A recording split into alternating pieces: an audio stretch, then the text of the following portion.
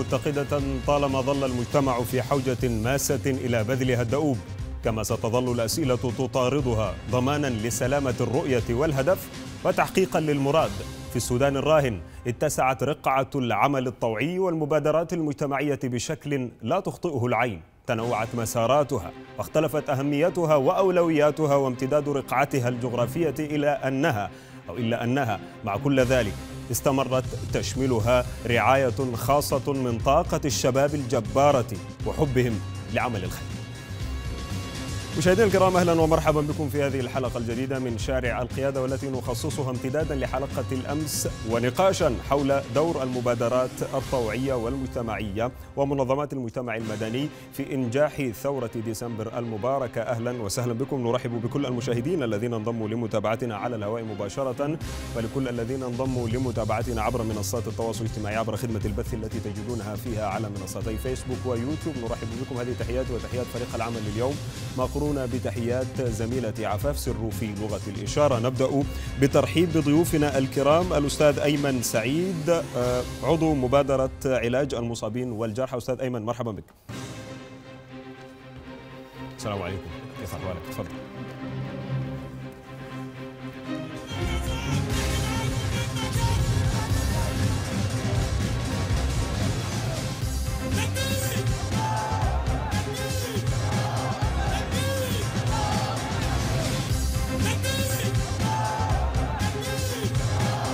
نرحب اذا بالأستاذ أيمن نرحب أيضا بالاستاذه آلاء أحمد خوجلي مبادرة أطفال القيادة. استاذه آلاء مرحبا بك.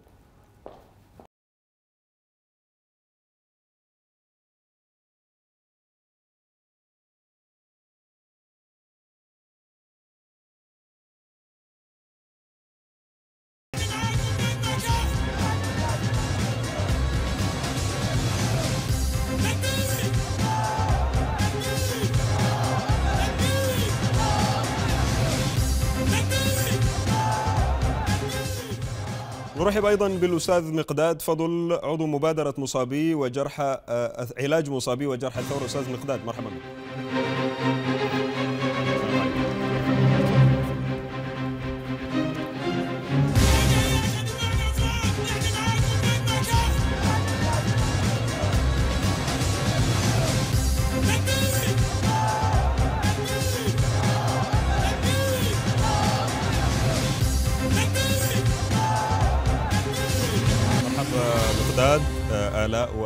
وأيمن مرحبا بكم مشاهدينا الكرام.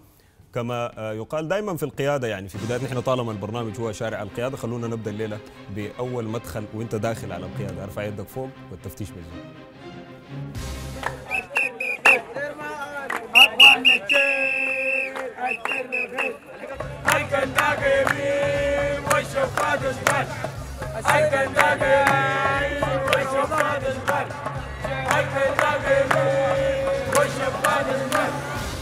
Aykanda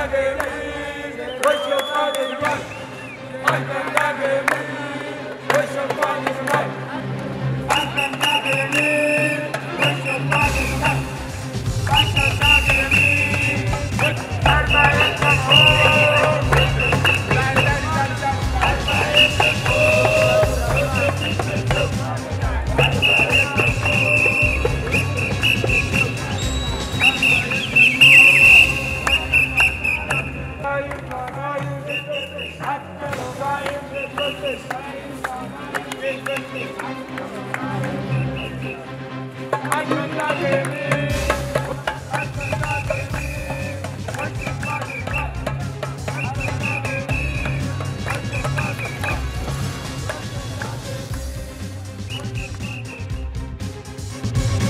صايم تتفتش حتى لو صايم تتفتش.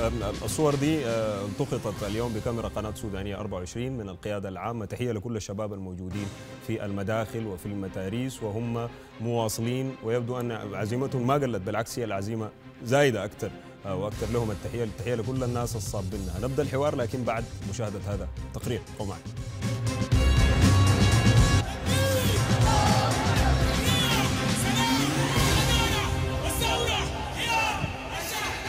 لن يسلم من يتصدر للعمل العام والطوعي تحديدا من أسنة الرماح. ذلك أن المحرك الرئيس لأعمال الفرد والجماعات هو الربح أيا يكن ولأن البون أصبح شاسعا بين السودانيين والتجرد منذ بعض الوقت. إثر إحلال ثقافة المكاسب الواضحة فإن من العسير إقناعهم بخلو كل الأعمال الخيرية والطوعية من الغرض. وذلك على الرغم من تاريخهم الطويل في العمل الوقفي الطوعي الخيري ومن قبله النفير الذي هو الحامل الثقافي لكل الأعمال اللاحقة.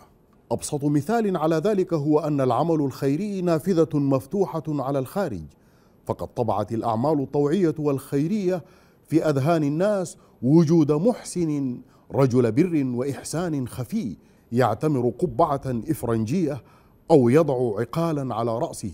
وفي الحالين ثمة ما يريد المحسن الخفي قوله تنفيذه بمعنى أن هناك أجندة وراء المحسنين الغامضين وهناك شبهات حول المتطوعين المحليين. وللتاريخ كانت أولى الحوادث حول فساد القائمين على الإغاثات والإعانات القادمة من خارج السودان والدعومات في فترة الديمقراطية الثالثة على أيام السيول والفيضانات عام 1988 لكن فترة حكم الإنقاذ شهدت تلاعبات كبرى في الإغاثات والإعانات والعمل الطوعي عموما إلى درجة يمكن وصفها بالفضائح وهو شيء سيواجه جميع المبادرات الطوعية في السودان إلى أن يثبت العكس على الرغم من أن الكثير من المبادرات والمنظمات الطوعية أوجدت لنفسها مكانا بارزا عليا في وجدان السودانيين. إلى ذلك فإن أكثر التهم رواجا حيال العمل الطوعي ومبادراته هي أنه خرطومي متمركز في حدود العاصمة قلما يتحرك في جغرافيا جديدة أو بعيدة في الوقت الذي تشهد فيه الأطراف القريبة والبعيدة من الخرطوم كوارث ومجاعات وأوبئة وأمراضا نقصا في كل شيء تقريبا فهل يعي المبادرون ضرورة الانفتاح أكثر في ظل غياب الدولة؟ إن أكثر التحديات التي تواجه المبادرات الطوعية هي أنه في حال انفض سامر الاعتصام في القيادة وهو أمر حتمي بلا شك سيكون الكثير من الأطفال تحديدا الذين انصب عليهم بعض جهد المبادرات قد عادوا إلى حيث لا يدري أحد فما هي الخطط في أعقاب ذلك؟ هل هناك تصورات كبرى لرعاية مستديمة؟ ومن أين ستلبي المبادرات تكاليف التصورات الكبرى هذه؟ أم أن ذلك كله سيذهب أدراج الرياح عقب انفضاض الساعة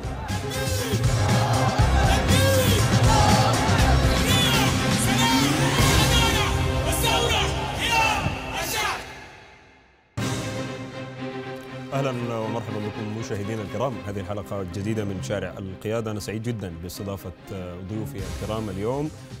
نذكر بهم مرة أخرى الأستاذ المقداد فضل عضو مبادرة علاج مصابي وجرحى الثورة المهندس باشمهندس المقداد. الأستاذ أيمن سعيد عضو مبادرة المصابين والجرحى أيضا والأستاذ الاء أحمد خوجلي مبادرة أطفال القيادة. أبدأ بك طوالي المقداد. يعني زي ما تابعنا في التقرير في سؤال كبير قاعد يتأسس إنه ماذا بعد اعتصام القيادة؟ يعني الآن مناخ سياسي جديد يبدو أنه حيشكل أيضا مناخ مجتمعي جديد كثير بيتنبأ أنه المناخ ده حيكون إيجابي لحد كبير. يجب أنتم تكونوا لاعبين أساسيين فيه فهل في تصورات لما بعد لما بعد الاعتصام؟ خلينا نقول ما بنقول بعد الثورة لكن بعد الاعتصام. طبعا آه نحن نفتكر إنه مبادرتنا مبادرة آه عمل طوعي مدني. آه نحن بنشارك أو حابين إننا نشارك في خلق الجو البيئي المدني اللي بنقدر من خلاله ننفذ أعمالنا دي. دارين يحصل التحول من الدكتاتورية للعسكرية للدولة المدنية الديمقراطية الحرة. فلازم كلنا نشتغل على الأساس ده. ده الشيء اللي خلانا إحنا قاعدين في الاعتصام. وحنكون صابينها في الاعتصام لحد ما تتحقق مطالب وجود الدولة المدنية. فدي دي دي, دي, دي ده الجول حقنا في الموضوع. جميل جدا. آه ألأ بنرحب بك برضو. يعني ملاحظ إنه في نمو وتزايد لميول الشباب فترة الثورة للاتجاه للعمل الطوعي. أنتم شغالين في مجال مهم مجال الأطفال تحديدا. بكل فئاتهم الأطفال المحتاجين لرعاية. أول حاجة أنتم بتشتغلوا شنو في للأطفال تحديدا؟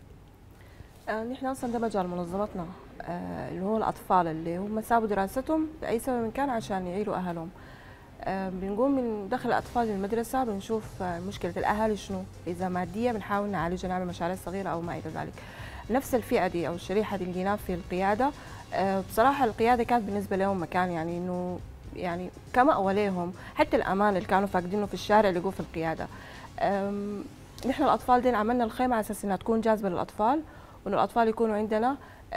ما بنعمل لهم تدريس بالمعنى الحرفي للتدريس. لكن بنحاول نع- نعمل إعادة تأهيل لهم عشان يندمجوا مع المجتمع. هم الأطفال فاقدي السند مش كده؟ في فاقدي السند وفي أطفال آه، يعني وضعهم المادي تعبان نعم. وفي أطفال عاديين لكن إحنا الأطفال العاديين دول إحنا بندمجهم مع الأطفال دول عشان يعني نحاول نعيد لهم الثقة في المجتمع لأنهم فقدوا الثقه دي نعم. ده الهدف الأساسي منهم. جميل. أيمن آه، برضو مواصلة للسؤال لكن من زاوية أخرى. تزايد آه، الإقبال على العمل الطوعي. شيء جميل ومبشر. في مخاوف بسيطة زي ما تكلمت أنا والمقداد قبل شوية عن إنه استمرارية الموضوع ده لقدام. لكن خلينا نقيف عند الأسباب ال- الحقيقية اللي دفعت طاقات كبيرة من الشباب للانخراط الآن للعمل الطوعي والمجتمعي آه، اللي هو بيهدف في نهاية المطاف لتحقيق تغيير سياسي واجتماعي كبير في السودان. آه طبعا هو من مدة طويلة آه كان العمل الطوعي الطوعي عموما ملجأ آه لتفريغ طاقات الشباب. آه ممكن من بداياتنا في العمل الطوعي آه وجدنا إنه آه العمل الطوعي يعني مكان جيد نحن نفرغ فيه طاقاتنا. لكن في الفترة الأخيرة آه العمل الطوعي خلى الشباب يكونوا يشوفوا سوءات الحكومة السودانية آه في العهد البائد. في تقصيرها سواء كان في الصحة في التعليم في غيره. فده من خلال العمل الطوعي خلى الناس تشوف الحياة دي من آه، نقطة قريبة جدا بانخراطها في العمل الطوعي في الحتت ديت عشان تغطي الثغرات اللي كانت موجودة. فده آه، أدى الشباب آه، مكان يفرغوا فيه طاقاتهم المهولة اللي هي ما لاقين حتة يفرغوها فيها. جميل. المقداد آه خلينا نتكلم عن ميدان الاعتصام. ملاحظ إنه أبرز خطوط عامة للقضايا المنوطة ببناء الدولة إعادة بناء الدولة آه التعليم الصحة مكان معافى تماما. يعني آه مكان ما فيه فقر ما كل الناس بتتعلم كل الناس بتتعالج برضه بعداله حريات الأولى. حري- حريات بالدرجة الأولى زي ما ذكرت في جو بتاع تعافي جميل. دور الدور برضو عليكم كبير إنه يتنقل نعمل copy paste للقيادة دي في كل مكان. جاهزين إن شاء الله. آه آه لو لاحظت في في شارع القيادة بتلقى دائما في منابر بتاعه التوعية شغالة. هي بت- بتهتم برفع وعي الزوار أو المعتصمين اللي بيجوا لشارع القيادة. آه من خلال المنابر دي إحنا بنفتكر إنه حيحصل رفع للوعي اللي هو دي آه ده لب الحياة. الحياة المدنية الحقيقية للدولة السليمة المعافى وللشعب الواعي. آه بنفتكر ان السودان شعب واعي الشعب السوداني شعب واعي شعب عارف حقوقه. آه إلى حد ما إن في تقدر تعرف هي حاجة سيئة ولا جيد إنه هو شعب صبور. ممكن يصبر عليك 30 سنة لكن بعد ذاك بتعرف يحصل لك شنو. ف دي, دي الحاجة اللي إحنا بنشوفها في شارع القيادة إنه كيف نحن نقدر نر- نرتقي بوعي الناس في حال إنهم هم كانوا غير واعيين بالقضايا بتاعتهم. زي ما ذكر أيمن الحقوق بتاعتهم الصحية الحق في الصحة الحق في التعليم من قبل كده الحق في الحريات الحق في الحياة الحق في كيف اني ليه تعتقل يعني عشان عندك رأي؟ ليه تعتقل عشان أنت طالبت بحقك؟ ليه أنت يطلق عليك رصاص أو تصاب ببومبان بس لأنك طلعت في الشارع قلت حرية سلام وعداله أو قلت تسقط بس نفسها يعني ليه المشكلة وين يعني معقوله يعني نعم. لكن ما دام هو يكون فعلا في نقص جواه وما كانت الك- ال- ال- ال- الهتافات أو المطالب الطبيعية دي أثرت فيه وخلته يتعامل بردود الفعل ال- الصبيانية دي. آه الحاجة اللي نحن بنشوفها في شارع القيادة هي فعلا ممكن تكون صورة مصغرة للحياة السودانية العادية إنه يا أخي آه اي زول يعمل الشيء دايره طالما إنه هو ما معتدى على حقوق الحياة. السودانيه المنشوده اللي إحنا كلنا. دايرينها نعم آه، ما- طالما إنه أنت ما معتدى على غيرك طالما إنه أنت ما مسبب بالاذى للاخر وين المشكلة يعني إنك تعيش حياتك الطبيعية دي الحاجة اللي نحن طيب بنشوفها. أنا برضو قبل ما أمشي لالاء يعني أنت من خلال تواجدك في في في شارع الحوادث لقيت مبادرات آه، كثيرة يعني شارع القيادة؟ شارع القيادة عفوا في شارع القيادة. تحية لمبادرة شارع الحوادث. آه، لقيت مبادرات كثيرة. شارع الحوادث وغيرها من المبادرات علاج مصابين الجرحى وغير. آه، شنو المبادرات الفاعلة تحديدا اللي هي ممكن يعول عليها السودانيين في المرحلة المقبلة في مرحله ما بعد الثورة أو ما بعد آه، ما بعد ال- ال- الاعتصام تحديدا؟ هي صعب إنك تسمي صراحة يعني ان ال- الشباب اللي قدر إنه يهز يهز الجبروت اللي كان قاعد ده ايا كان المسمى بتاعه ده ما بتقدر أنت إنك تحطه في تصنيف معين أو تحطه في حتة معينة. لو قعدت أنا أذكر لك هنا ال 122 ال 1122 منظمة شغالة في الخرطوم أو في السودان عموما ما حكفي الحلقة ما حتكفينا. كل الشباب والشابات اللي حضروا لشارع القيادة هم شباب عندهم روح المبادره في ناس خلقوا مبادراتهم داخل شارع القيادة في ناس جابوا مبادراتهم من برا في ناس كان عندهم مبادرات في الخارج لكن قدروا يشكلوا مبادرات تخدم الغرض اللي خلانا نكون موجودين في شارع القيادة. آه يمكن انت تكون ما عارف نحن وجودنا قليل في شارع القيادة. لأنه نحن نكون وجودنا في المستشفيات نعم. مع المصابين أو في بيوت أسر الشهداء اللي هو ده كمان بند جديد بند كبير واسع جدا جدا. آه شوية بتخلي زمنك ضيق لكن قدر الإمكان. الواحد شفت لو يحصل شنو ذاك لو الساعة 4 صباحا. نعم. تحس بالموضوع بتاع شارع القيادة زي زي الاكل والصلاه والنوم ما بتقدر تختاره. الح- في دائما في وقت الثورات بيكون في حس بتاع نفير عام يعني كل الناس يدينا واحدة آه، نحو هدف واحد. في ناس بتخوفوا من إنه الحالة ال- الحالة الثورية في العمل الطوعي خلينا نسميها إذا صحت التسمية يعني إنها تنتهي بعد آه، بانتهاء مراسم الثورة. ده بيعتمد على إيمانك بالحاجة اللي أنت بتعملها. يعني آه، أنا شايف إنه كل المبادرات الموجودة في القيادة دي مبادرات مهمة. المجتمع اللي إحنا خالقينه في القيادة ده المجتمع اللي إحنا عاوزينه أصلا في السودان. يعني نحن الدولة المدنية المنشودة الموجودة في القيادة دي الدولة المدنية اللي إحنا دايرينها في السودان. يعني الصحة يعني أنا أنا مع الأطفال الموجودين معي في في المخيم أنا بمشي العيادة مجاني بتعالجوا آه الأدوية باخذها مجاني. آه الأكل شراب ما ما بشيل هم حاجة. يعني ما زي أنت في الواقع بتكون شايل هم بكرة. تعمل شنو؟ نحن ال- الحاجة دي لو اتنقلت آه يعني من من القيادة من من الاعتصام من أرض الاعتصام للسودان آه السودان حيتغير. أنا شايفة إنه الوعي الموجود في في شارع القيادة ال- الروح الوطنية الموجودة في شارع القيادة آه، ما أظن إنه هي تنتهي في يوم ولا يومين ولا إنها تنتهي مع مع دي حاجة موجودة فينا نحن من زمان عاوزين دي تكون موجودة أصلا. في الحقيقة على أرض الواقع مش بس موجودة في أرض الاعتصام. الحاجة دي لو نحن أصلا كلنا دايرينها في أرض الاعتصام ما كنا نحن كلنا جينا وعملنا مبادراتنا دي. ما كان كل الشعب السوداني متكاتف. ما بتحس إنه أنت ناس ما بتشوفهم أول مرة بتشوفهم في شارع القيادة تحس نفسك كأنك بتشوفهم يعني شفتهم لك سنين. آه، فما أظن الحياة دي تنتهي بس مع مع انتهاء الثورة. يعني نعم. أيمن كلام الادب بيعني إنه المعتصمين آه، انخراطهم في أعمال المبادرات الطوعية وفي المبادرات الطوعية وفي المنظمات وفي مساعدة الغير.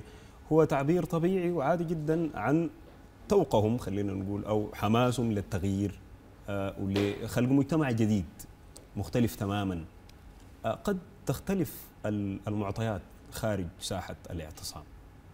أكيد طبعا آه، لأنه خارج نطاق الاعتصام تحديدا إحنا بن- بن- بنرجع للسودان ال- اللي لسه ما زال محتاج إنه بعد إن شاء الله انتهاء الاعتصام بحكومة مدنية.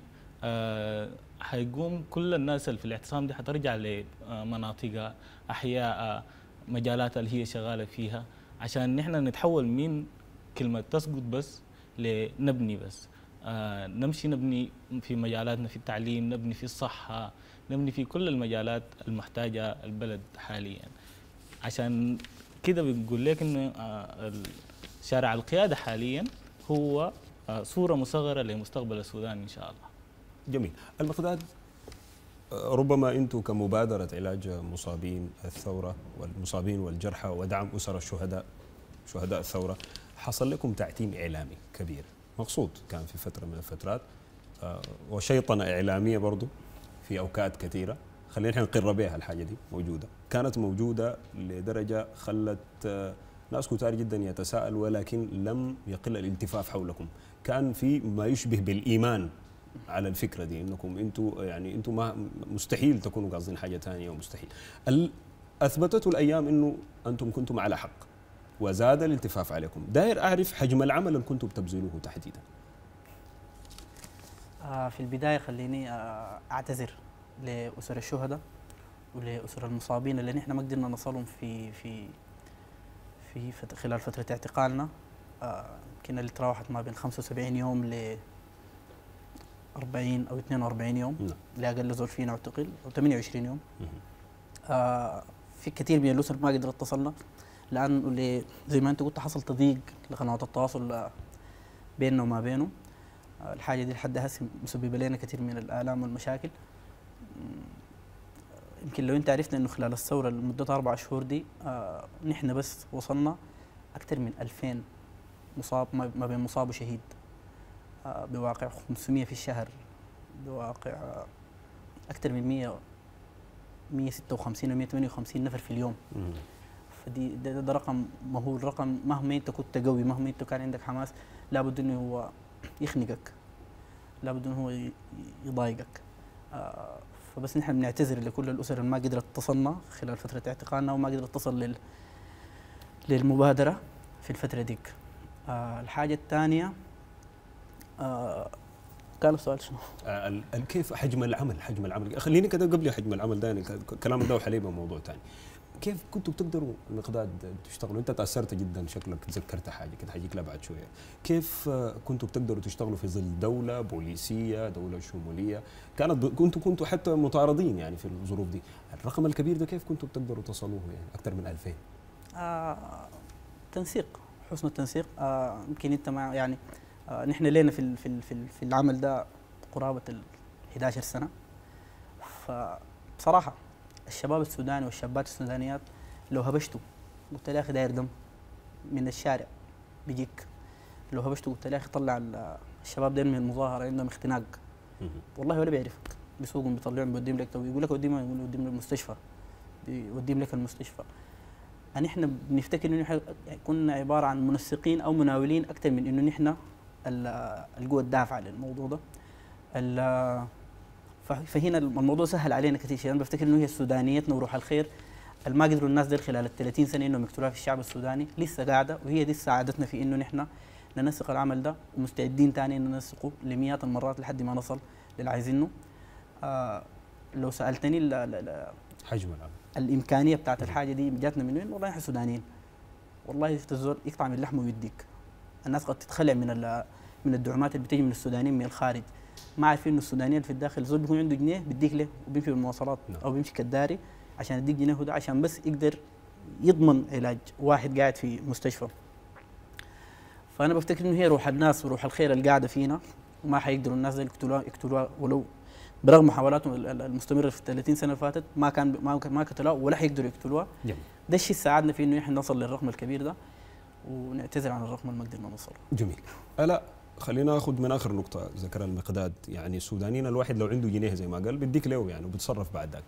آه لعلاج المصابين والجرحى الحمد لله نحن انتهينا من المرحله دي ونتمنى ثاني ما تصير قطره دم واحدة سودانية. يعني إن شاء الله بيكون الانتقال للدولة المدنية انتقال سلس. كلنا كسودانيين بنتمنى الكلام ده يعني. هل تفتكروا أنتوا وانت شغالة في في مجال تعليم الأطفال أو لرعاية الأطفال عموما هل بتفتكري إنه برضه ممكن يكون حماس السودانيين لمرحلة البناء لتعليم الأطفال لرعاية الأطفال لإيواء الأطفال؟ إنه ممكن يديك جنيه برضه علشان الأطفال يتعلموا بنفس الدافع اللي كان بيدوا به الشباب دي الناس المقداد وغيرهم؟ هو طبعا التعليم ده أهم حاجة بالنسبة لي التعليم والصحه يعني في تجارب لدول فقيرة بسبب التعليم والصحه بقت من من مصاف الدول الغنية. آه، أنا شايفة إنه آه، إنه المبادرات جميلة إنه في تكافل إنه في آه، الشعب السوداني شعب كريم. آه، بس الموضوع صعب شوية بالنسبة لنا نحن كتعليم. أنت أنت يعني بت بتغير نظام قديم عشان تعمل نظام تاني. النظام القديم ما كان ما كان مولي بالتعليم أهمية. آه، دي حاجة حقيقية يعني. جدا. يعني التعليم سيء حتى الأساليب سيئة. ما في ما ما في وعي ما في وعي. حتى أبسط حقوقك يعني ممكن هم آه، يوروك شنو واجباتك بس ما بوروك حقوقك شنو في التعليم. يعني ما في وعي ببساطة ما في وعي سياسي. دي دي مشكلة كبيرة إنك أنت ما تكون واعي. آه، ما في وعي لمسؤولية اجتماعية. آه، بيركزوا على حاجات معينة. إنك تاخذ درجات وط- يعني يعني في التعليم ما بس إنك أنت تعلم أنت لازم تربي. انت. بتربي جيل كامل. دي دي مشكلة كبيرة انت بتنشئ جيل ما عارف حاجات كثيره المفروض كان يعرفها. فإنك أنت تغير حاجة زي دي في يوم وليلة شيء صعب لكن إنك أنت إنك أنت تحاول إنك أنت تغيره ماشي صعب لكن إنك أنت تغيره آه، بسرعة وبسهوله ما أظن إنه بالسهولة دي. نحن محتاجين ممكن السودانيين يعملوا يدفعوا برضه بنفس الطريقة دي لقدام لدعم التعليم. أكيد. تفتكري كده؟ أكيد ب... يعني أكيد لأنه أنا لمست حاجات كثيره من الميدان يعني من في الاعتصام. لمست إنه في ناس كثير جو وكانت الخيمة بتاعتنا يعني بالنسبة لهم يعني لمستهم لمستهم في حتى في في حتات كثيره أنا يعني يعني مؤمنة إنه الناس إنه السودانيين إنه ممكن يساعدونا في حاجة زي دي يعني في المبادرة بتاعتنا. جميل جدا. مشاهدينا الكرام فاصل ونعود طبعا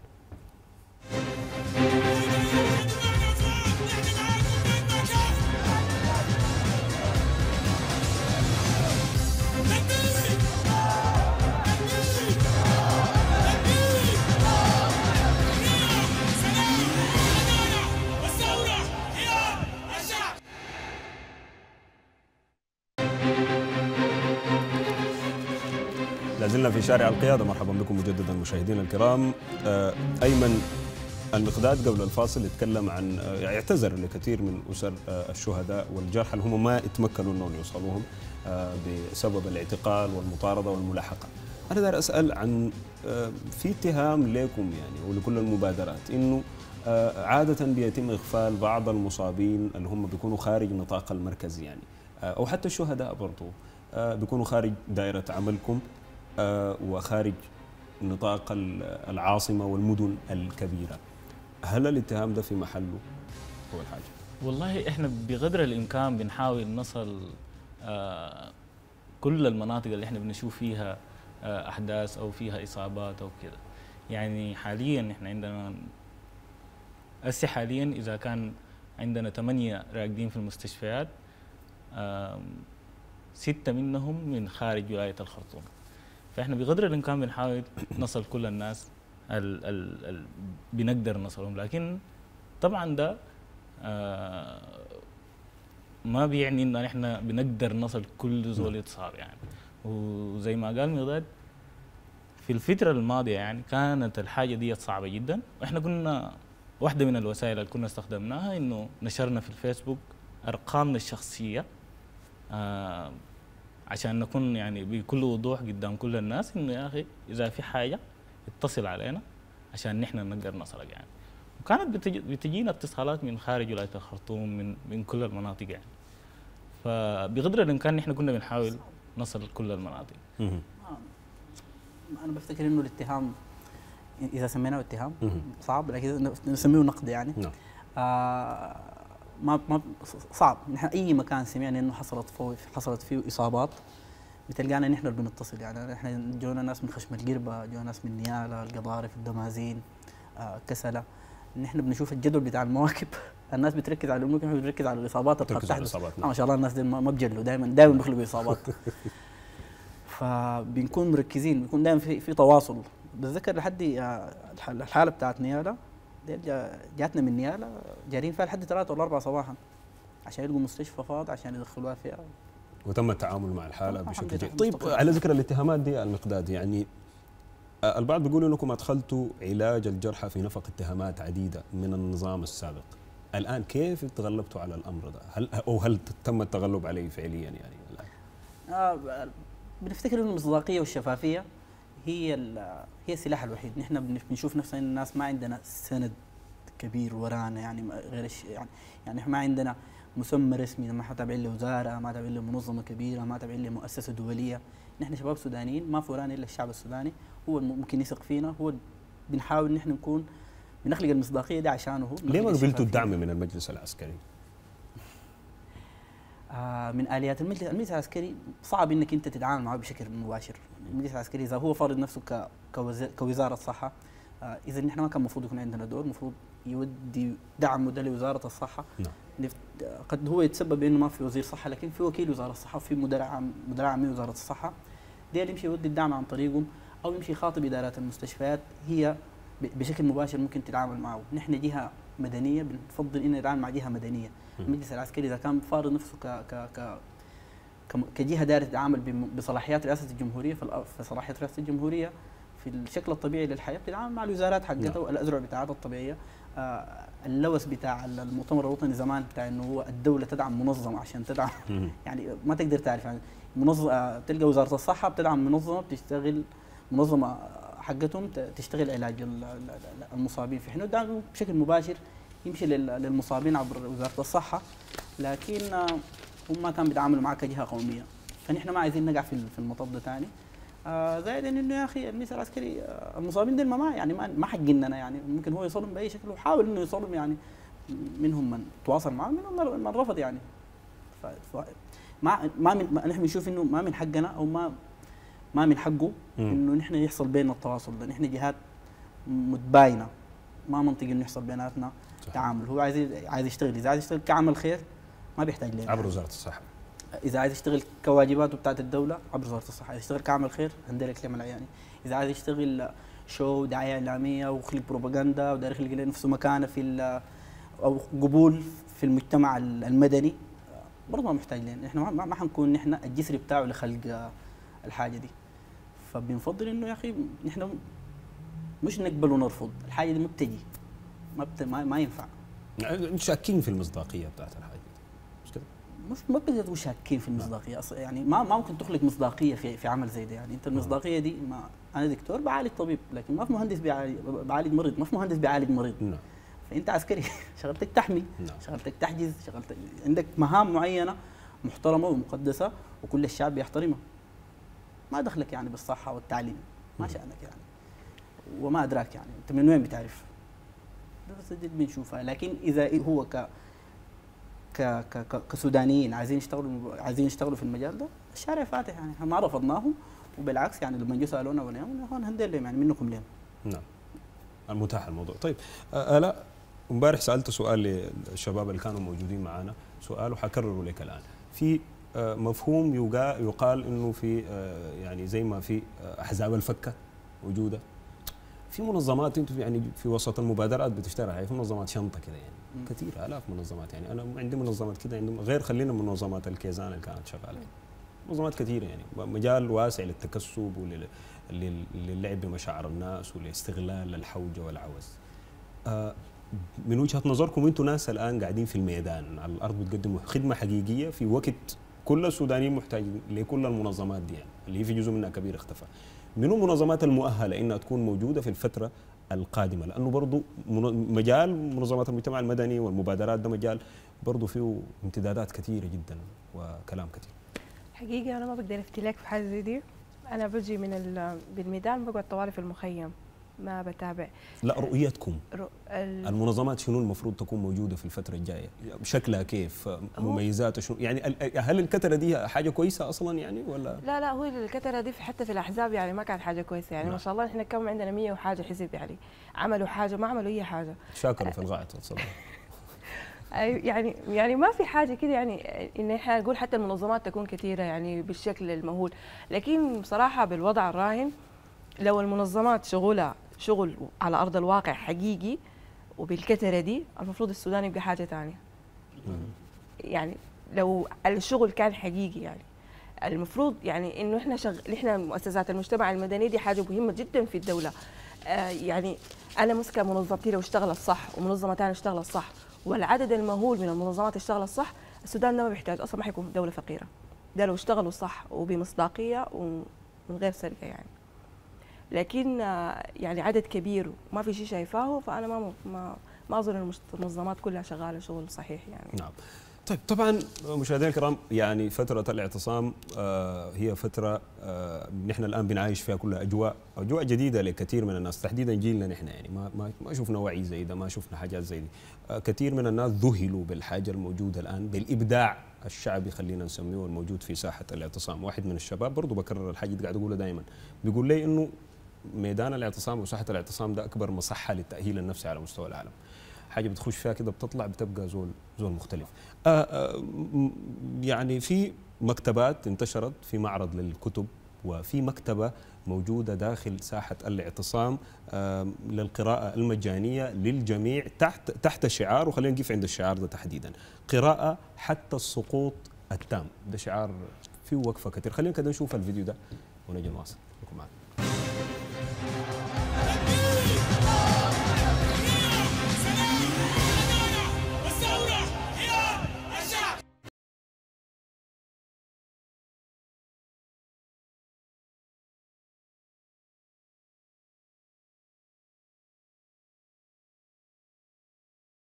المكتبة بتاعت آه، الاعتصام. كانت في الأسبوع الثاني من الاعتصام. آه، كان آه، بدينا طوالي بهاشتاج اسمه قراءة حتى السقوط التام. الفكرة جات من إنه إحنا لما جينا الاعتصام ده نقلنا إذا ما حياتنا كلها جزء كبير من حياتنا معانا. وجزء من حياتنا أو في ناس جزء من حياتها إنها تكون بتطلع على على الكتب يعني تقرأ الكتب بالذات يعني. عشان كده جاتني فكرة إنه إحنا نعمل مكتبة دائمة يعني في كم تيم بيعملوا آه، أيام بتجي فيها كتب لكن بيكون ساعات وبتخلص. أنا جاتني فكرة إنه إحنا نعمل آه، مكتبة تكون دائمة آه، في الاعتصام. على أساس إنه برضو إحنا ثورتنا دي بتعتمد بشكل كبير على الوعي. فجات من هنا فكرة المكتبة. معي شباب. ريهام دوبر محمد عبدين آه، الشباب بتاع التشكيليين هم دعموا بشكل كبير المكتبة دي وساعدونا. آه، في شباب كثيرين برضو معتصمين كانوا مانحين لنا آه، من الكتب لأنه الكتب دي ما منحتنا لها أي مكتبة. هي عبارة عن آه، سلف من المعتصمين داخل الميدان.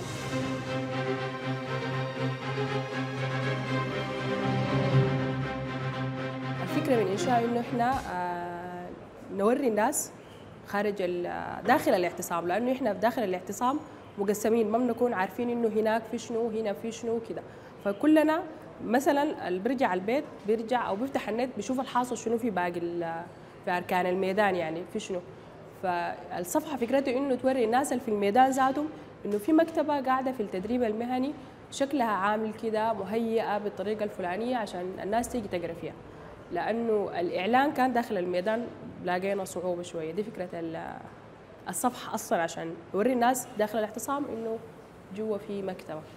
ال- برضو نوري إنه آه، إحنا محتاجين دعم بتاع كتب من الناس اللي بيجوا الاعتصام اللي ما بيجوا الاعتصام لكن ممكن يدعمونا بالكتب أنا بعتبر إنه الم- المكتبة دي هو جزء من آه، الاعتصام أو هو المبدأ الرئيسي اللي هو الناس دايرة تخلي الناس تكون واعية عن الثورة وعن الحاصل في السودان لأنه معظم الناس في في, في الاعتصام ما عارفين ال- الفكرة من الاعتصام شنو وما عارفين حقوقهم شنو. فبتجي المكتبة دي بتوعي الناس عن حقوقها وتعرف يعني الوعي وكده يعني.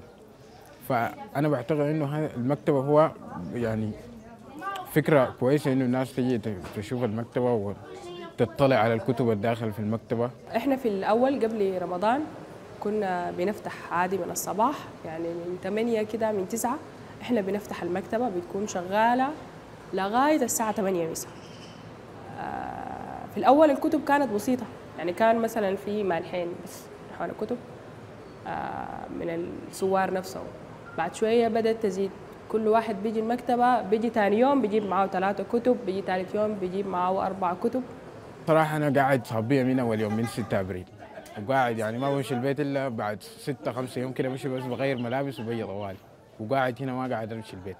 بين المكتبة وبين ال ال ال ال المنابر وبين ال- ال- الندوات الثقافيه والإنسان بوعى وبعرف داير يعرف آه، هو شنو أصلا ومتطلباته شنو عليه شنو وبلده ما له ودايره شنو كده يعني. فأنا ما انقطعت من المكتبة دي ولا انقطعت من الدورات دي وقاعد صابيه من يوم 6 أبريل بجاي بملابسي وبحاجاتي كلها قاعد بجاي على أساس إنه الإنسان يوعى ويمشي لقدام ويعرف متطلباته ويعرف آه، حقوقه وواجباته وكده. الفكرة بتاعت المكتبة إنه هي كمكتبة كمكان حتنتهي آه، بالسقوط التام لمنظومة الكيزان للمجلس العسكري لغاية ما إحنا نستلم ب- ب- ونحقق مطالبنا اللي إحنا جينا لها المكتبة كمكان هنا حتنتهي. آه، هي أصلا ذاته جاية من فكرة آه، مبادرة فتح اللي هي عملها محمد هاشم الله يرحمه. ففكرة المكتبة حتنتقل طوالي للمبادرة بعد ذاك. حنشتغل بها الفترة الانتقالية كلها على أساس إنه آه حن حنغير في شكلها شوية على أساس إنه نكون شغالين على الوعي بتاع الشباب والوعي بتاع المجتمع بطريقة أكثر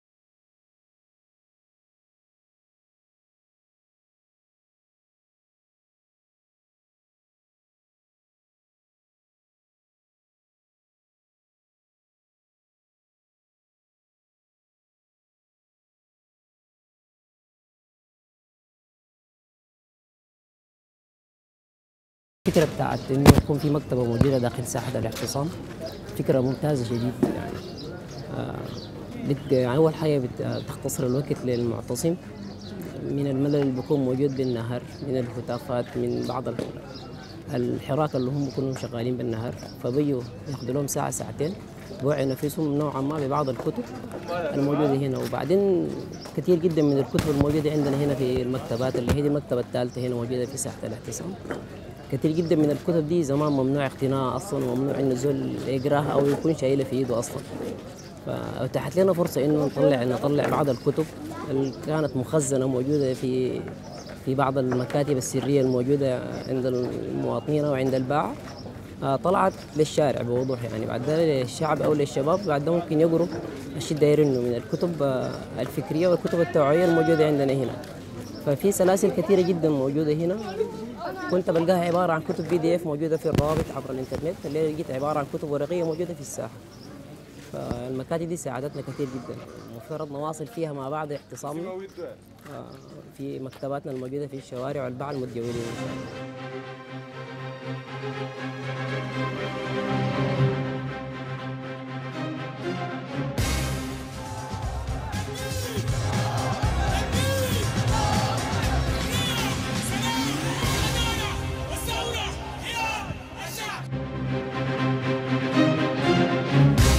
الشكر والتقدير للشباب اللي نحن شفناهم من خلال المادة دي. آه، في المعتقل. كنت بتقرأ كيف؟ المعتقل بتأكل الكتاب اكل آه، أول شيء بيكون عندك المجازف بتاعت إنه الكتاب ده يخش. لكن آه، الكتاب جوا زي الكنز؟ لأنه ممكن تقراه ثلاثة مرات. يعني أنا بعرف ناس كتب مستحيل كانوا يقروها برا. قروها جوا مرتين وثلاثة. مستحيل. حتى الكتب كانت ممنوعة داخل المعتقل إلى حد ما يعني. نعم. في فترات طبعا هم ال- ال- النظام شوية مزاجي. ففي في فترات كده يحسوا بقى قربت تسقط بيقوموا يخلوك تقرأ يعملوا فيها لطاف حاسين بروحهم لسه ماسكين وحو- أيام كان تقعد بس كان ربيع شعار كده تقعد بس. ما في كتب ما في شنو ما في شنو. آه، متذبذبه ال- ال- ال- العلاقة نعم. داخل المعتقل طيب أيمن أجيك مرة ثانية. مبادرة تعليم الأطفال مبادرة نتج عنها مبادرة آه، مدرسة الشهيد أحمد الخير لو تابعتها. آه، مبادرات بتصب في ذات الاتجاه والآن شايفين إنها هي بتتطور. مبادرة علاج مصابين جرحى الثورة ورعاية أسر الشهداء. هل ممكن نشوف من خلالها حاجة مشابهة مشروع مشابه للحاجة اللي إحنا شفناها في مبادرة أحمد الخير مثلا؟ آه، أكيد طبعا لأنه في النهاية آه، كل الحاجات بتصب في آه، مستقبل البلد. ده غير إنه أصلا مبادرة علاج المصابين ما أظن آه، يكون عندها نهاية قريب لأنه يعني في حاجات الناس ما عارفاها وإحنا كنا ما بنحب نتكلم عنها لكن يعني زي شنو؟ آه زي إنه في يعني إحنا بنسميهم الشهداء الأحياء. عندنا حالتين منهم هم ديل في غيبوبة دائمة وعندنا زي حالتين برضو. ديل شلل كامل و بسبب التعذيب. بسبب ال- الأربعة ديل واحد منهم إصابة بومبان في الرأس البقية آه، اثنين آه، واثنين رصاص. مم. واحد واحد رصاصة في النخاع الشوكي واحد رصاصة في الرأس. فديت حالات حتكون مستمرة على مدى طويل يعني ومبادرة علاج المصابين ما حتتخلى عنهم مهما كان يعني. فالناس حتكون واقفة معاهم وما والموضوع حيكون مستمر لمدة ما قصيرة إن شاء الله. جميل. أرجع لك مرة ثانية يا المقداد. آه، هل عزيمة الناس ال- ال- ال- خلينا نسميهم المانحين والمتبرعين المبادرة هل العزيمة دي قلت؟ هل الآن في حوجة ل حوجة لدعومات أكبر؟ ولا الأمور مطمئنة إلى الآن؟ أي في حوجة. شوف انت أنت بتحاول تعالج في إشكالات بتاعت 30 سنة لورا. مم. آه زي ما قال لك أيمن عندنا حالات الشهداء الأحياء وأسر الشهداء. آه دي حالات الله أعلم نقدر آه نقول إننا أنجزناها وقفلناها قريب في ال- في ال- في الفترة ال- ال- ال- القري- الجاية دي. آه صعب. إحنا حنكون مواصلين إن شاء الله وحنكون قاعدين لحد ما نقدر ننجزها. جميل. هلا مجال الأطفال ال- اللي أنتم شغالين فيه في في القيادة هو مجال كبير شديد حتى على المستوى السوداني يعني. كثير من الأطفال بيعانوا من سوء التغذية المزمن الأنيميا الحادة المزمنة. آه، كثير من الأطفال محرومين من تلقي خدمة التعليم. آه، الأوضاع الصحية سيئة التسرب من المدارس. آه، امبارح فارس بيتكلم عن إنه في آلاف ومئات الآلاف من الأطفال في السودان ما بيمشوا المدارس بسبب الجوع. فواقع الأطفال في السودان حسب حتى تقديرات الأمم المتحدة السودان من أسوأ الدول اللي بيعانوا فيها الأطفال يعني. آه أنتم مس- مسكتوا مجال آه صعب جدا. تصوراتكم الآن ونحن الآن ما بنتكلم عن آه، يعني ما زي زمان يعني إطفاء الحرائق. نحن الآن في مرحلة بناء الدولة. شنو الخطة؟ طيب الموضوع صعب صعب شديد. مش بس لأنه أنت أنت بتبني يعني مجتمع تاني يعني الأطفال ده مجتمع جاي جديد أنت قاعد تبني فيه. عشان أنا أقدر أسسهم من ناحية صحية آه، نفسية آه، حتى التعليم. في أطفال ما أقول ما أقدر أطلق عليهم أطفال لكن هم معانا في مبادرتنا. كبار يعني آه، ما قدروا يتلقوا تعليم أو وقفوا في مرحلة معينة ما قدروا يكملوها. آه، أنا بشوف إنه الأطفال دول من أو الأولاد دول من حقهم إنهم يدخلوا المدرسة والمرحلة اللي هم وقفوا فيها يكملوها عشان يستلموا شهادة جامعية آه، ويقدروا يواصلوا حياتهم. نعم. في أطفال آه، يتعرضوا لعنف أسري وهربوا. آه، آه، دايرة يعني يكون في قانون ممكن نحمي به الأطفال ديل انه حتى لو نحن نقدر نضمهم عندنا في منظمتنا انه إنه ما يتعرضوا للعنف الأسري اللي هم تعرضوا له. في مفاهيم مغلوطة زمان إنه الطفل لازم ينضرب عشان يمشي. المفاهيم دي لازم تتغير. الطفل ما بينضرب آه، الطفل اللي بينضرب حيبقى عنيد وحي يعني أنت حتكون عملت تأثير سلبي عليه. في في حاجات نحن نحن المفروض نتغير فيها. في في مفاهيم انه إحنا أطفال الشارع ديل آه، أنا ما ممكن أقول أو ممكن أطلق عليهم أطفال شوارع أقول أطفال فاقدي السند. نعم. إنه أنا أتعامل معهم كأنهم حاجة كده يعني آه ثقيله علي. آه عندنا نحن فهم يعني للأسف الشديد المجتمع ما بتقبل الأطفال ديل. يعني بيطلقوا عليهم شماسة مثلا. نعم. آه في حين إنهم أطفال يعني ظروفهم جبرتهم إنهم يعيشوا في الشارع وما ذنبهم. آه نحن نحن ك كسودانيين أو كناس عموما يعني ك كهيومن بين المفروض الأطفال ن- نتعامل معاهم ب بإنسانية يعني انه نحن نحتويهم. طيب أنتم كده معناها شغالين يا الاء في اتجاهين يعني ما زي ال- الشباب ما دي. أنتم شغالين في اتجاه توعية حقيقية وفي اتجاه عمل أي تربية وتعليم وتوعية. ده كله. اي ده, ده كله يعني المفروض نصب في الموضوع ده. الموضوع ده ما سهل. الأطفال دول جايين من بيئة معينة أنا أنا الأطفال لما يجوا يقعدوا معي في ال- في المخيم كس- يعني بعصبية بيتعاملوا مع بعض بحياة الغاب. نعم. فهمت إنك أنت تقدر تسقي الأطفال دول وخليهم يندمجوا المجتمع ويكونوا آه، ناجحين لقدام دي دي حاجة كبيرة. طيب خلينا نحلم قبل ما أمشي لايمن خلينا نحلم طالما نحن بنحلم بحكومة مدنية إن شاء الله ربنا يرزقنا لها يعني. في دول آه، في مجالات التعليم والصحة دي عشان توحد الجهود بتقوم بتلم كل المبادرات تحديدا في مجال التعليم والمختصة بالأطفال بتلم كل المبادرات تحت مسمى مؤسسة ضخمة وكبيرة بتكون وبتطرح لها جزء من الأسهم في الاستثمار وكده عشان تقدر تغطي كل آه، كل الدولة يعني.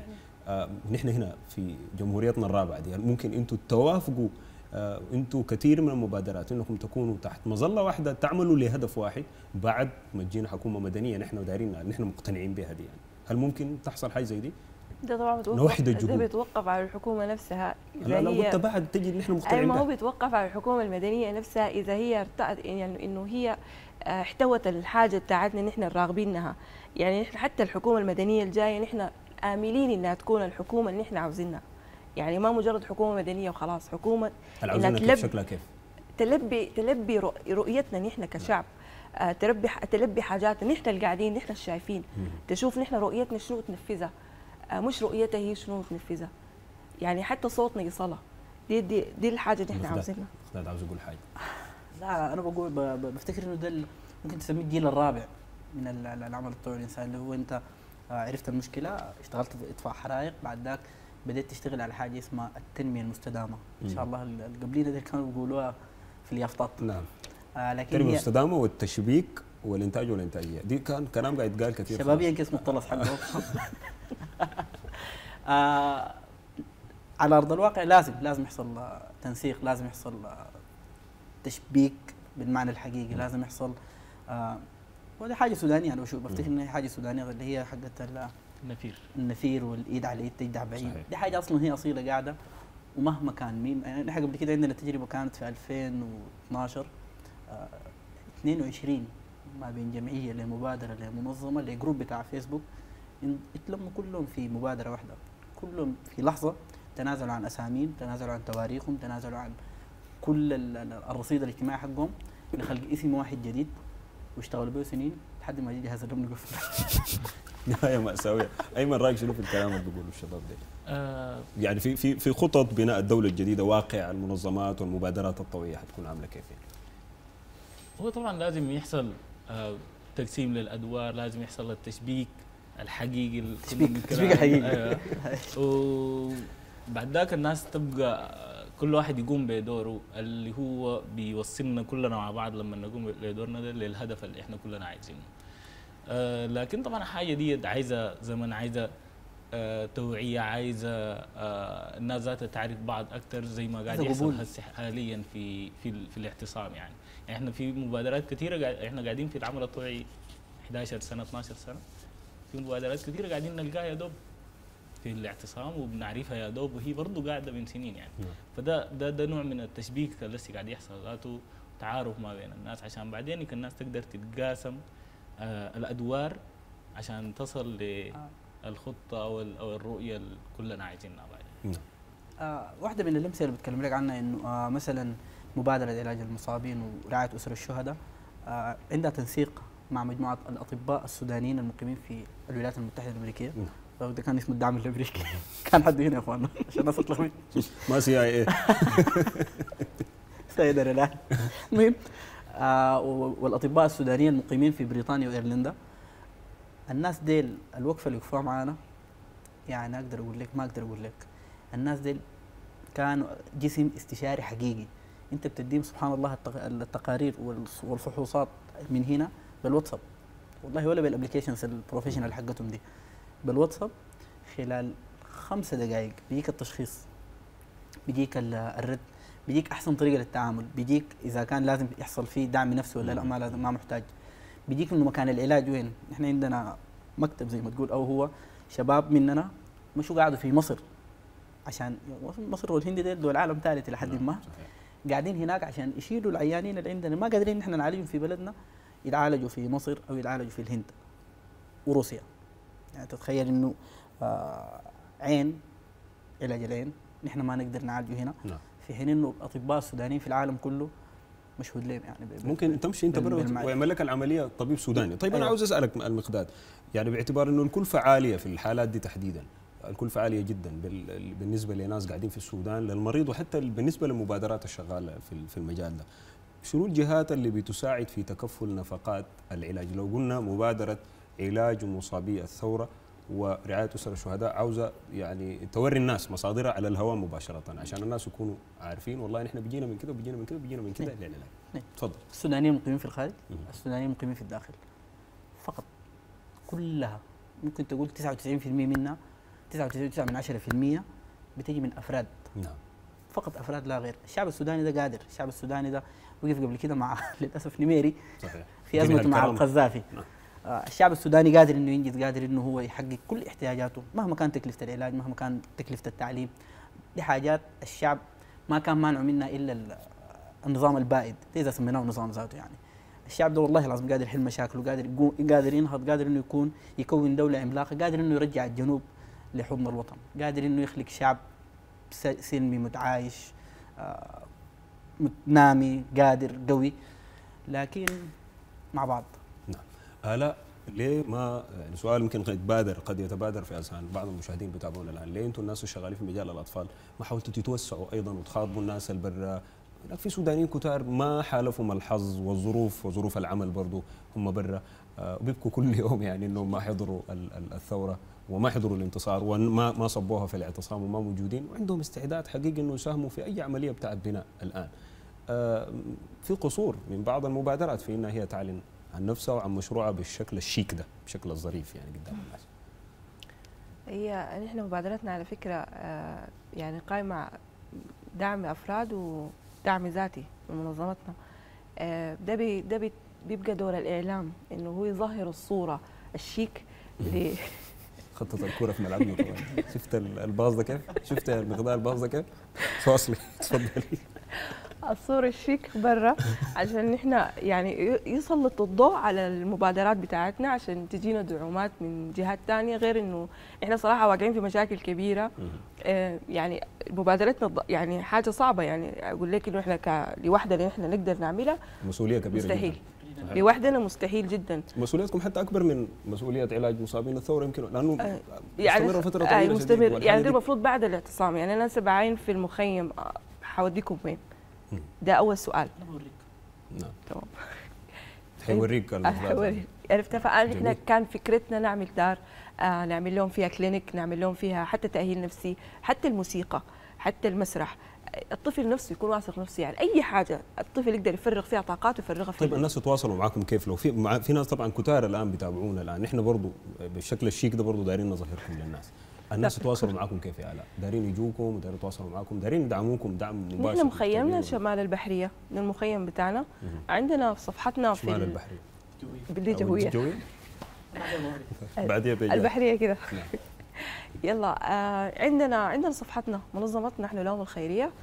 شكل المبادرة موجود في في الصفحة. ممكن يتواصلوا معنا يعني الصفحة على الفيسبوك على وفيها أرقام. التليفونات وفيها كل آه فيها كل حاجة. لو. دايرين يتواصلوا جميل. أيمن اجيك راجع ثاني أنا. آه، طيلة فترة التظاهر لحد بداية الاعتصام الأطباء ظلوا بيقوموا بأدوار كبيرة جدا الجيش الأبيض يعني.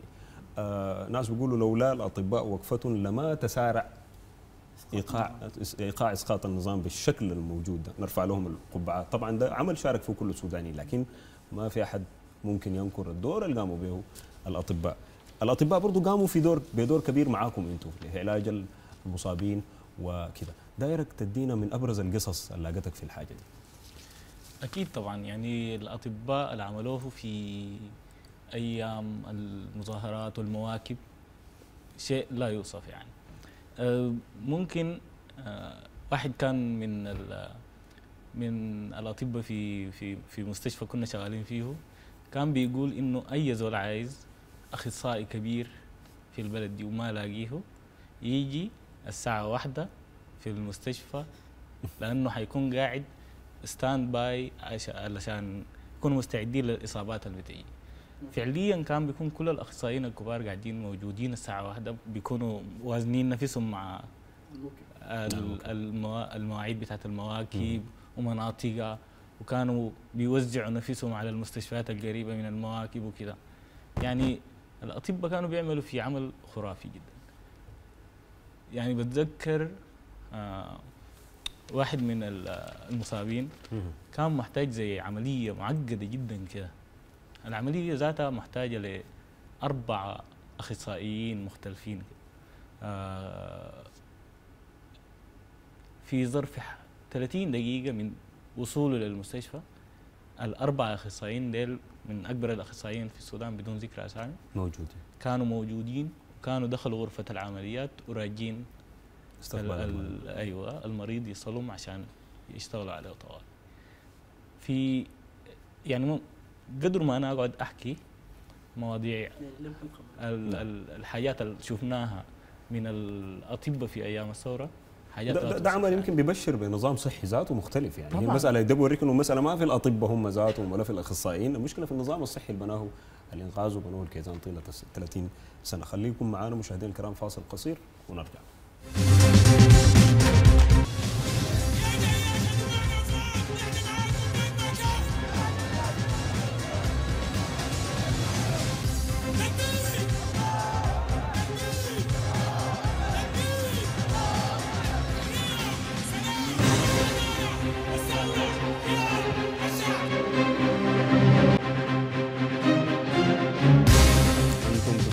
شارع القيادة مرحبا بكم مرحبا بكل المشاهدين الذين انضموا لمتابعتنا. آه المقداد آه إلى أي مدى يمكن أن تؤثر التحيزات الثقافية الاختلافات الفكرية الأيديولوجية في مسار العمل الطوعي؟ وأنت عارف إنه العمل الطوعي يحتاج لتضافر كل الجهود كل الناس يعني.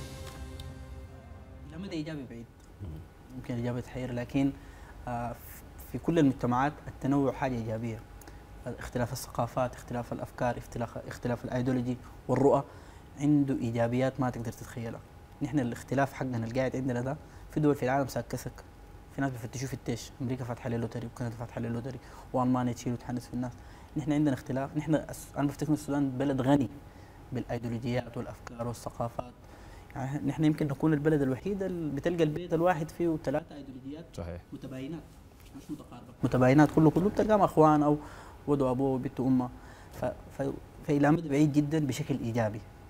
أنا بس بفتكر انه إحنا زي اللي كنا ماشيين في طريق كويس آه، اتقفل مننا كده بجدار لمدة مم. 30 سنة لكن قاعد في النهاية سقط سقط الجدار ده فحنمشي بشكل ممتاز ال- التباين بتاع ال- ال- ال- ال- الايديولوجيات اللي نحن زاخرين به وغنيين به ده والله العظيم أول ما يلقى الجو بتاع الحريات والدولة المدنية حينتج لك حاجة أصلا ما تتخيلها في, في ناس إذا كان نعم. إذا كان أنت سلميه الثوره بس بقى يضرب بها المثل في الجزائر وفرنسا. بس سلميه الثوره تخيل أنت لما تيجي تبني الناس دي حتفتشك السودان ده تاريخيا من الدول المضرب مثل في البناء في التعمير في التأهيل.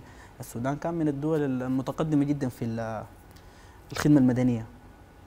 التنظيم بتاع الخدمة المدنية. الناس بي العالم كله بيجي يتعلم الخدمة المدنية في السودان. لكن آه، عملنا pause كده في 89 وتحلينا بس منه. عملنا continue آه. طيب الا آه، يعني بنشوف منصات طوعية في العالم آه، بتعبر عن عن الشعوب. يعني بيل جيتس عنده منظمة كبيرة ومؤسسة هو بعد ما خلاص قرر إنه ما يشتغل business ثاني فبقى بيشتغل social responsibility للناس وفي دول العالم الثالث وكذا. شايفين المنصات دي بقت حتى بتعبر عن أفكار الشعوب. الآن منظمات المجتمع المدني لأنها مقبولة ده السبب الأول مقبولة جماهيريا وشعبيا. هي ممكن تكون الأنسب إنه يتكلم وهم السفراء الحقيقيين للسودان آه، برا يعني. هل في تصور لأنه أنتم تعكسوا كل الأشياء الجميلة اللي تمت في الثورة دي؟ لأنكم أنتم تحديدا أقرب ناس لأنكم أنتم في الميدان. ما لاي اعتبارات ثانية لو نحن خطينا خلافاتنا على جنب زي ما حصل. خلافات من يأتون يعني في مرة آه، كان حضرت اجتماع مع المجلس العسكري اللي هو مؤسسات المجتمع المدني المنظمات نعم. تحديدا. آه، كل الخلافات كانت آه، انت كوز انت ما كوز انت كوز انت ما كوز فحصل تاني شكل. لا ما كان في الحمد لله ما كرسي دي بتاعت قبل الكرسي. كراسي. ويضعيض في ما كراسي. آه، يعني الصراحة يعني خدوا خلافاتكم على جنب. إحنا عندنا هدف معين تصفية الحسابات دي بعد. بعدين. بعدين ما هي ده ما وقته أنتوا دا انت داير تبني بلد انت داير تعمل حاجة انت عندك هدف معين عندك رؤية معينة. شو انت كوز ما كوز؟ ما وقته يعني أنا يعني نحن بس ناخذ خلافاتنا على جنب. نشوف هدفنا شنو نعمل هدفنا ده نشتغل عليه. بعدين موضوع الخلافات يعني إحنا شغالين تطوع ما شغالين آه، أحزاب أو ما شغالين في سياسة إحنا شغالين في مجال تطوعي. السياسة دي على جنب التطوع اللي هنا هدفنا حاليا. فأنا ما شايفة إنه يعني لو بطلنا موضوع تصفية الحسابات واشتغلنا ممكن نحن نكون منبر إنه نحن نقدر نوصل آه، صوتنا وصورتنا للناس. جميل. أيمن نبرة ال- النبرة الإقصائية دي أو النبرة الشيطان الشيطانية دي للمبادرات العاملة الشغاله في خدمة المجتمع وتقديم. تحديدا مبادرتكم أنتم يعني فازت بنصيب كبير محترم يعني من من الانتقاد والتخوين يعني. في ناس قالوا ديل جماعة ديل شيوعيين. الشيوعيين ناس المقداد وأيمن وناظم سراج وديل ناس شيوعيين بيجيبوا قروش من برا. يعني السيناريوهات دي بقت منتشرة عند الناس يعني. لكن ما صدقوها الناس حقيقة. آه أنتم حافظتوا على ثبات وعلى توازن عجيب. في أقصى لحظات أو أيام ال- الاستقطاب اللي كان بيتمارسوا الإنقاذ والكيزان ضدكم وكذا. آه، كيف تقدروا تساهموا برضو بذات المعول في البناء لقدام في جمع السودانيين؟ ما في تفريقهم يعني. آه، الحصل في في الفترة اللي فاتت كل اللي عملناه قصاده بإنه مواجهينه بحاجة بسيطة جدا اللي هي الشفافية. كنا شفافين بكل حاجة بتلاقينا مصابين وصلونا مصاب مصاب ب- بالحاجة الفلانية بنحتفظ بالسرية بالنسبة للمصابين بنحترمهم لكن بننشر أيوه. صحيح. ننشر الحاجة الحاصلة عشان الناس تعرف طبعا. في نفس الوقت أنت بتحاول القاعدة بتاعتك بتاعت المتبرعين بتاعت الناس دي تكون متواصل معاها بتعمل لها ابديت بشكل دوري الشفافيه أهم حاجة في إنك تكسب ثقة الناس وتخليهم آه مهما كان في إشاعات حولك. عارفين إنه أنت قاعد تعمل في شنو يومي في النهاية أنت موضح هدفك وشفافي وفي شفافية ما بينك وما بين الد- الداعمين والناس ال- ال- المتلقين لل- لل- للخدمة. فالشفافية دائما بتحل لك كل الإشكالات دي وما دام في هدف قدامك وأنت ماشي عليه ما في حاجة بتخليك تتلفت. منه. أيمن غشيت مبادرة ال- الحلاقة المجانية في شارع القيادة. طيب عنده واحدة حقته خاصة. لدقني طيب ما مشكلة يعني حتى لدقني لا نحن ما كان يعني شنو آه، عندنا زي شهرين كده بدون حلاقة. فبقينا نحلق كثير الأيام الأخيرة دي. جميل. طبعا آه، مبادرة الحلاقة المجانية في شارع القيادة يعني أنت في القيادة بتقرأ وبتتعالج وبتتعلم وبتتونس وبتتعرف على ناس كتار جدا. تشرب شاي. بتشرب شاي وقهوة. وممكن تتزوج بالمناسبة برضه في مبادرات بتاع الزواج جميلة برضه قاعد تحصل. آه وبتحلق. حلاقين مهرة في القيادة العامة. خلينا نشوف الماده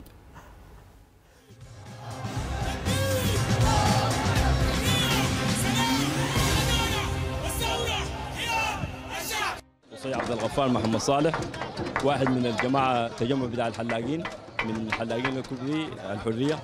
ففي الحقيقة هو التجمع ده زي ما تقول شنو؟ هو عموما ده طبعا السودان وشكله تمام التكافل و يعني التشاؤم من الناس الشايل مع بعض وتتكاتف فنحن حبينا نوصل رسالة يعني شنو؟ مش للسودان بس حتى لل- لل- لل- للعالم العربي والعالم الثاني. بأنه نحن ناس يعني هم زي ما تقول شنو؟ يعني السودان عموما بيعتبر إنه ده يعني في التكاتف واحد. وإخواننا هنا طبعا محتاجين لنا. زي ما نحن بنكون عندنا ظروفنا الأسرية تمام بتبعدنا شوية عن إنه نحن نقف مع الناس لكن حبينا نخصص يوم زي اليوم ده نجي نساعد فوق الناس ونقدم فوقه. تمام؟ الشيء اللي بنقدر عليه. يمكن ان إحنا ما ما بنقدر نساعدهم بالموية ما نقدر نساعدهم بالأكل تمام؟ أو نجيب حاجة لكن نقدر نساعدهم بشنو؟ بالشيء اللي بنمتلكه اللي هي المهنة اللي نحن بنمتلكها. وكل الناس اللي هي هنا موجودة فيها كلها ناس بسيطة وناس على شنو؟ على قدر الحالة. شاء الله يعني متمنين من ربنا إنه يغير الأحوال من حال يعني لحال أفضل زي ما كل الناس اللي هي موجودة هنا مطالبة بالحاجة دي تمام؟ وإنه يعني عموما كلنا في سقف واحد هو سقف السودان. فتمنياتنا إنه يكون الوضع يصلح من أبسط زول ل- يعني أكثر زول تمام؟ فإن شاء الله ربنا يغير الحال من حال أفضل.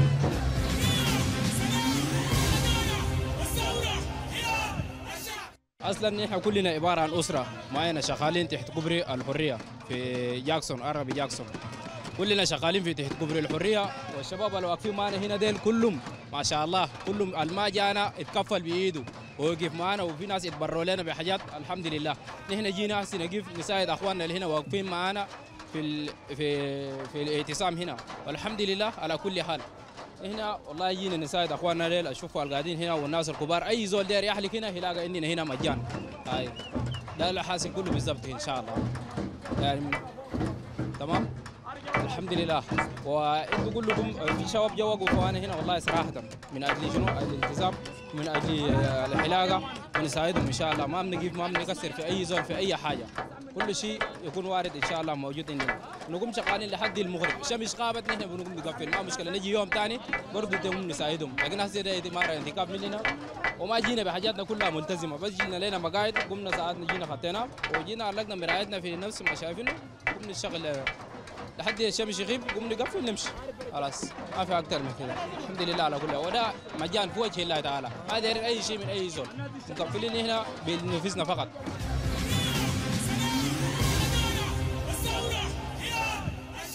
في الحقيقة كنا متحركين من موقف في العربي. أنا ومعي سوار وصادفناهم في نفس الموقف. وتحركنا سوا وجينا هنا. شغلهم تمام ما في كلام. أول حاجة في نظافة وجايبين كل العدة بتاعت النظافة. علاقتهم مية المية وشغلهم تمام يعني. وشغلهم مرتب ومحترم ما في أي كلام. والله رأيي إنها فكرة ممتازة للحلاقين وإنهم دعموا الفكرة دي وإنها من المواهب المدفونة في بلدنا.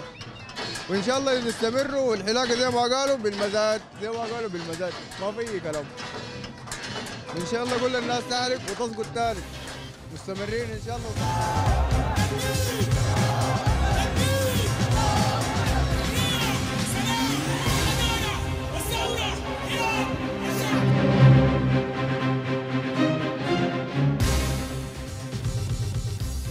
مبادرات آه، مختلفة ومبدعة وفريدة من نوعها يعني. إحنا بتخلينا نقول إنه اللي حصل في في القيادة العامة غير اللي حصل في التحرير ولا اللي حصل في شارع الحبيب بورقيبة في تونس ولا في ميدان ال- الأربعين في في في اليمن مثلا. آه، ده شيء مختلف ده شيء جديد تماما يعني ما حاجة ما حاجة بتشبه ال- آه، حاجة مختلفة. آه، المقداد آه، جهة مدنية بتقدم خدمات لكل شرائح المجتمع السوداني بعدالة وبكفاءة وبجوده أيضا. ده, ده ما كلامنا كلام الناس يعني الموجودين. دي ما حاجة فيها نقاش.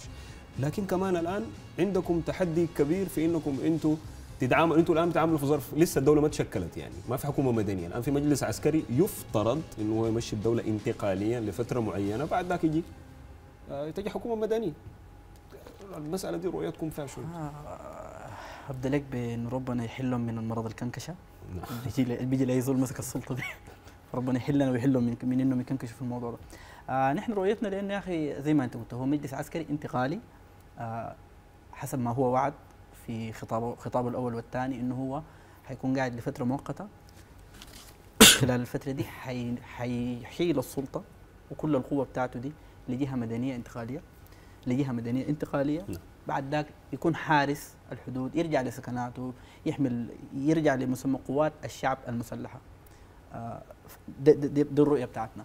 فنحن بنشوف إنه هم كثير شديد بيحصل إنه دي الجهة عسكرية إنتوا كيف حتقدروا تشتغلوا معهم نحن ما ما ينفعنا نشتغل معهم يعني أنا بفتكر لحد ما إنه جزء كبير منهم قد يحتاج الخدمة. نحن بالمناسبة حالتنا عسكري يعني قبل كده. فهم ما صعب إنه نحن نقعد معهم في شكل بتاع آه، جسمين متوازيين جسمين متقابلين. يعني جسمين متوازيين. كلنا بنشتغل. لخدمه البلد. آه، بنمشي في خطين ما بنلتقي فيهم. آه، صعب جدا إنه يحصل بيننا تعاون. اللهم إلا إذا دارين يتضرعوا بالدم. عبر بنك الدم. آه لكن بيحيرونا شوية بقصه انهم ما عارف آه، دارين يشتغلوا علاج مصابين دارين آه، يشتغلوا في قعدتوا معاهم في في في الاجتماع ادعوا لهم مش كده؟ لا لا لا لا لا, لا, لا.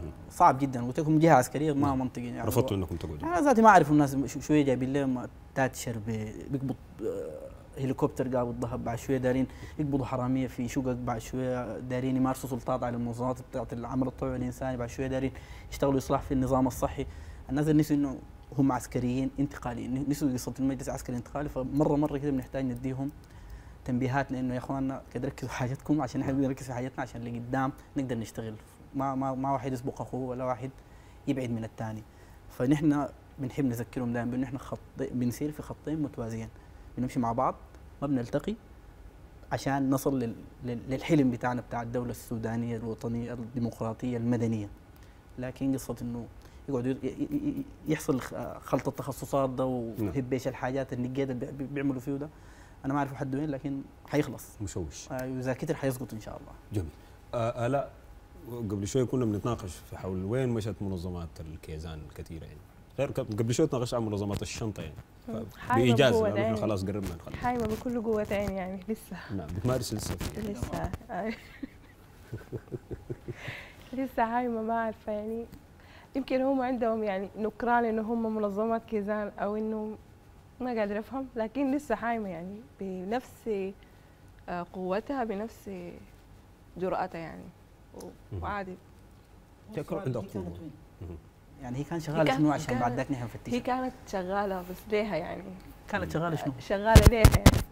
على الأرض وما كانت من موسى ايمن آه، طبعا الجواب واضح جدا إنهم كانوا شغالين آه، سرقة و, و يعني بكل بساطة هم عبارة عن غسيل أموال ل- لل- لل- للكيزان يعني.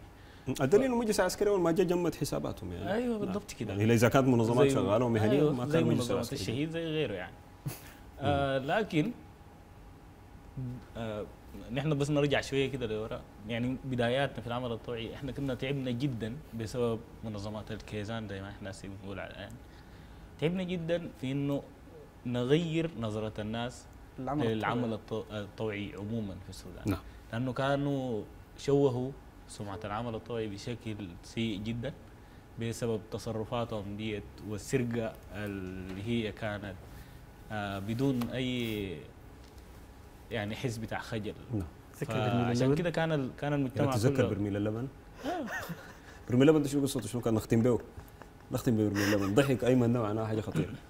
نختم. والله دي أحسن لك. طيب لكم المقداد عشان نختم بها نحن خلاص فضل لنا ثواني.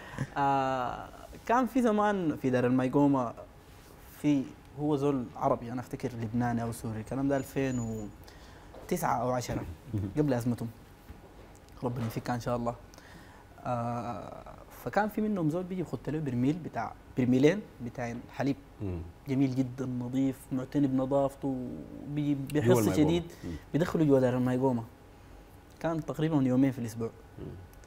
فنحن كنا مطرودين من قبل الإدارة بتاعت ال- ال- ال- الدار. الدار لأنه هي كانت خاضعة لمنظمة أنا السودان أيوه. الخيرية. نعم.